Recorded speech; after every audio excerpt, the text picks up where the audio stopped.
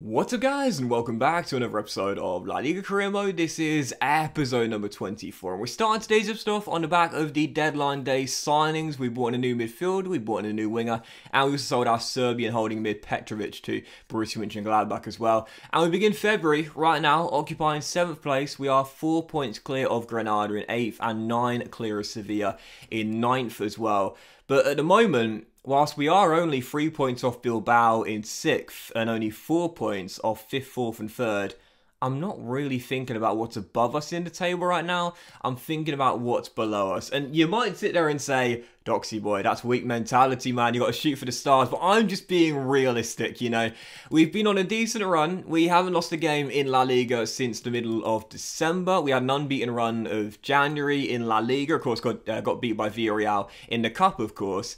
I, I think at the moment, you know, a, a, loss is right around the corner. And as you know, in FIFA career mode, once you've had one loss, you can't afford two on the bounce because form is so OP. So I, I know that Levante right behind us right now. Sevilla, I think, are also going to have a good second half of the season too. I just need to keep them at bay. I've just got to make sure the very lowest we finish is seventh. And so long as the Copa del Rey winners are in the top six or above, seventh will give us Europa Conference League football. And I'll take that. I will take that. I know previously I said the Europa Conference League was a Mickey Mouse competition.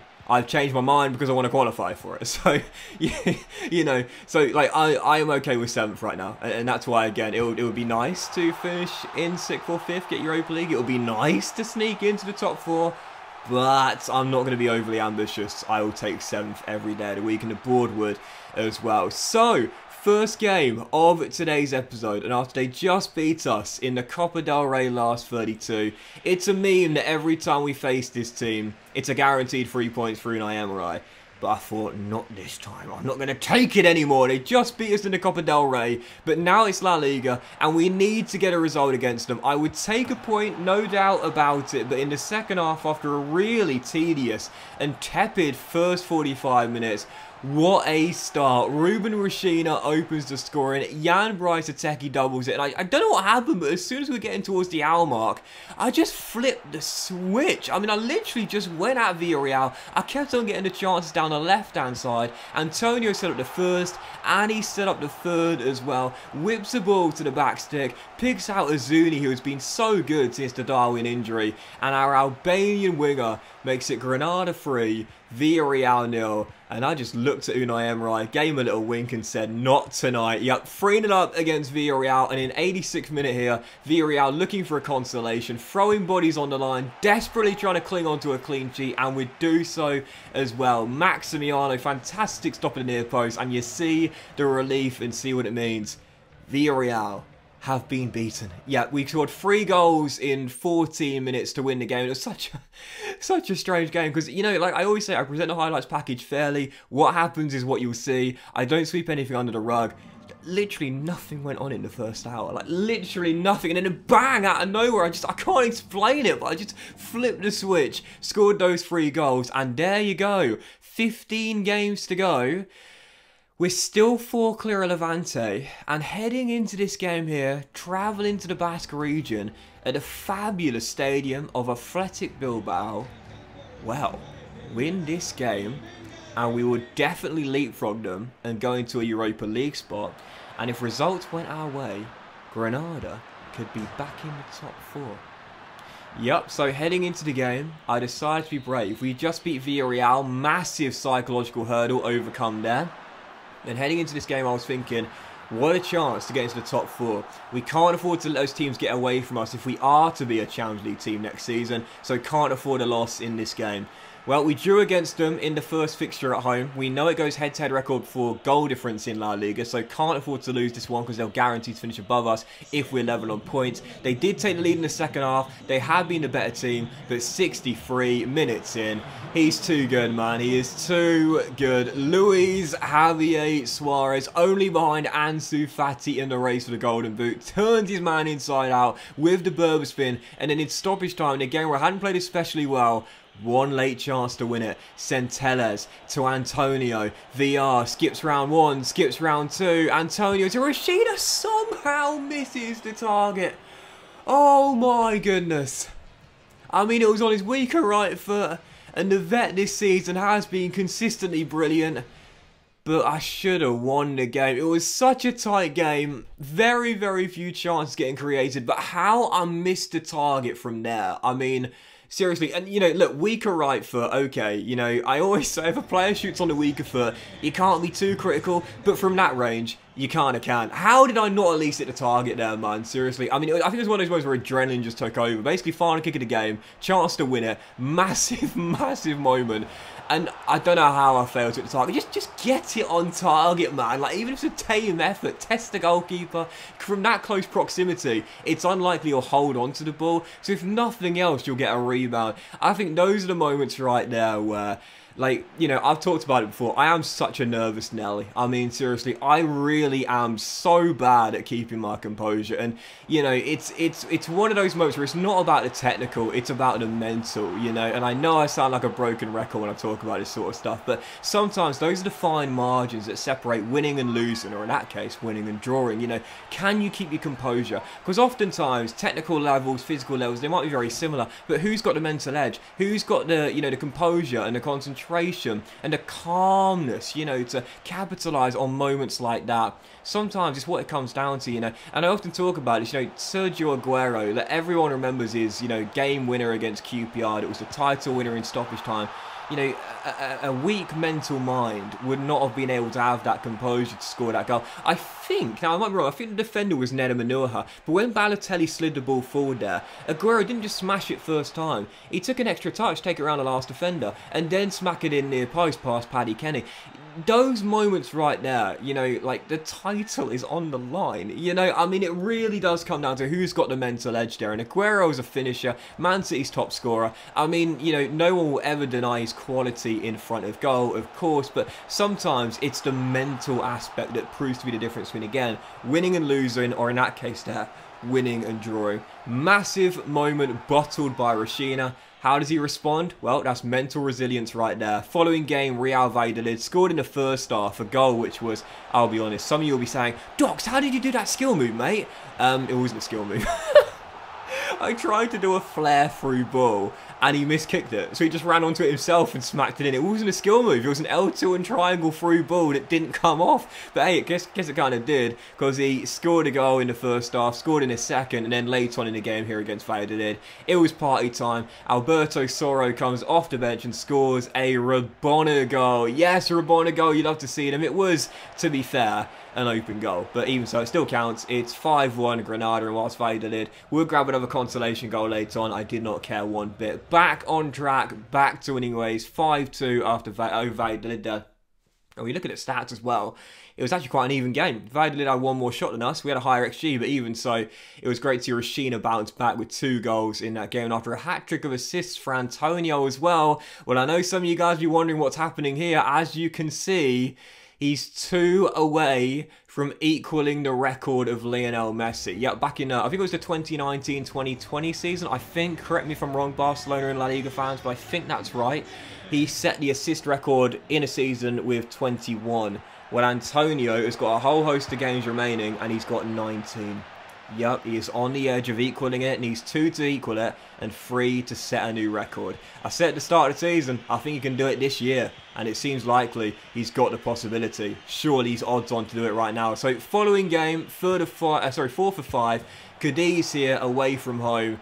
And when you talk about creativity, hat-trick of assists in the last game, can I just say this right now? He's had some great assists this year. This to me is the best. Look at this for a through ball. Oh, he's per he's absolutely perfect. I mean, seriously, this kid, I mean, uh, you know, I've had some amazing creative players over the years. He's one of the all-time greats, and I've only had one and a half years with him. That, that, oh, I can't, I, I watched a replay of that, and then, I know it's a bit nerdy, but I got an instant replay and slowed it down from different angles. That was incredible! Perfectly timed, perfectly weighted, weaker left foot from a tired angle. Unbelievable, but what wasn't unbelievable was this. 27 minutes in, Alvaro Negredo, the vet, how old is this guy now? Makes it 1-1, Cadiz get back on level terms, and oh Maximiano, Luiz, he's really eliminated errors from his game since the start of last season when he made so many, but I guess he just loses track of the ball in flight. It goes so high up in the air, he seems to lose his vision and his balance, goes to claim it, Negredo says, nope, I'm going to take that first, heads it in, it's not a foul on the goalkeeper, it's just poor goalkeeping. Cadiz back on level terms, Negredo with the level, and four minutes after restart, trying to get back in front. Oh, mate!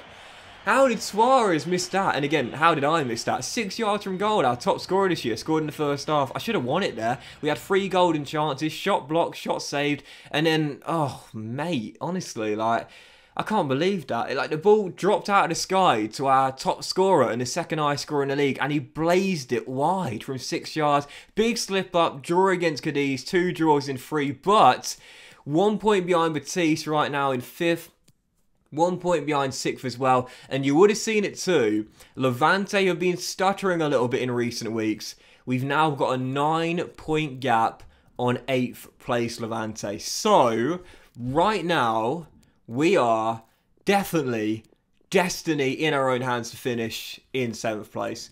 Now, as you know, Every single season of FIFA Career Mode, you go on a poor run of form. We've already had one poor run of form, and David Villa, by the way, how good does this look, guy? Look at 15 years old. Um, there's no doubt about it. I do sense a poor run of form right around the corner. Normally, there's a there's a run around mid-season to the second third of the season when you go on a poor run.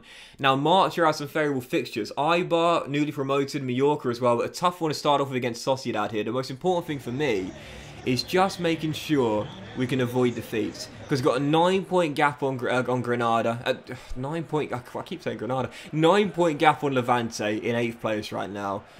Points at this point aren't too bad, especially against the bigger teams. I just can't afford losses and allow Levante to close the gap game by game. So our final game today, Real Sociedad, on the back of the draw against Cadiz and a slip up away from home, back in Andalusia, I thought, okay, Alright, let's get back to winning ways. And what a start as well. He's going for the assist title. He's one away from levelling the record with Messi. But let's not forget this guy's added goals to his game this year as well. Ninth in 25, averaging over one in every three. Antonio, Antonio. Antonio, Antonio, Antonio opens the scoring, makes it 1-0 and then 18 minutes in. Sociedad right now aiming for a Champions League place. Well, like I said, what are we made of? Two draws in our last three games, nine point gap on Levante, but need to keep the unbeaten run going. Haven't lost in La Liga since December. It's now the start of March. Can we keep it going? Well, what a start. Luis Milla makes it 2-0, but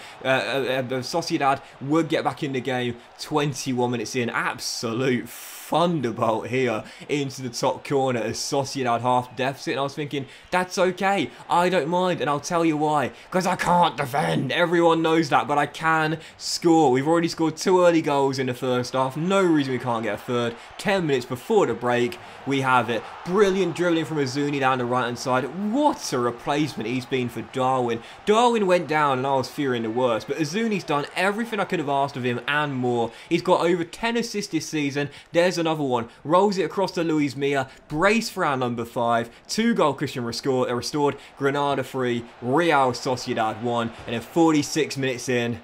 Sometimes you just need a bit of luck, and we got it right there. Adnan Januzaj back post, heads it off the crossbar, and then we clear it off the line. Still leading by two at the break. Sociedad with 18 minutes to go would have a good chance to get back in the game, though. Uzuni goes down after a rough challenge. It's a fair one. Referee doesn't stop play. Play on. Sociedad well within their rights to keep on attacking. Ismail Assar off the bench trying to turn Carlos Neva. Our left back says no. Gets away from him. Rolls it to Uzuni. Back to his feet. Stops the ball. Sends it long. Neva versus Elizondo. The race is on. Carlos wins it. Is running through one on one.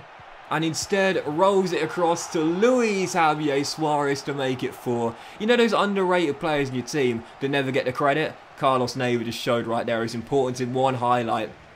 The tackle on one end, the run on the other, and then the assist for Suarez to wrap it up. He is so good, man. I mean, he really is better than I give him credit for. 4-1 Granada, massive, massive victory. We beat Sociedad with a huge victory and keep the pressure on the top four and keep Levante and Sevilla at bay. We're coming into the business end of the season. As you can see the league table, just 11 games to go but Granada has snuck into sixth. We're still nine clear of Levante. We've now gone ahead of Bilbao by one. We're only one behind Betis, and now Sociedad in fourth and two behind Barca in third. 11 games to go. European football is looking very likely now. Question is, can we deliver the big time and get into the Champions League or even the Europa League as well? But that it today's episode of La Liga Crema, guys. Big thank you for watching. Enjoyed it, if you haven't, please drop a like. Most of you all have a fantastic day, and I'll see you for the next episode of La Liga Crema. This game tense now very soon.